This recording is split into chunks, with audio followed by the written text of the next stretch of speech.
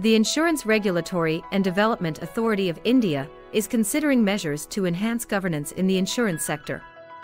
One proposal involves requiring prior approval from IRDAI for the appointment of insurance chairman, aligning with practices in the banking sector.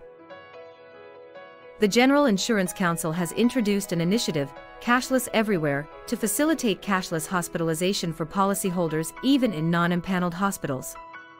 Hospitals with 15 beds, registered under the Clinical Establishment Act, can provide cashless hospitalization. The IRDAI has released a consolidated regulation on expenses of management, including commissions, based on the Regulation Review Committee's suggestions. Public sector insurance companies in India are poised for a significant structural transformation with the impending completion of the selection process for nine executive director positions as the country moves away from the traditional roles of general managers and directors, aligning with the structure of public sector banks. Prior to the budget announcement, there were widespread expectations and hopes for significant changes, particularly in achieving tax parity for retirement solutions.